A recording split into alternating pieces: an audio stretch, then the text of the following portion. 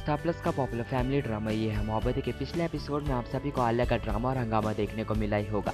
तो वहीं इसके साथ ही आपने देखा कैसे अपने अब्बा और अपनी अम्मा को भल्लास की पार्टी में ना देखकर वो हो जाती है काफ़ी ज़्यादा शौक। तो इस साथ ही साथ आलिया को यही लगता है कि ये सब जानबूझ की करा है इशिता ने, जिसके बाद आलिया की इशिता की तरफ़ नफरत भी बढ़ जाएगी। और साथ ही साथ इस सीरियल के आने वाले एपिसोड में आप देखेंगे कि कैसे इशिता, रमन और आदि निकल जाएँगे आलिया को ढूँढने में।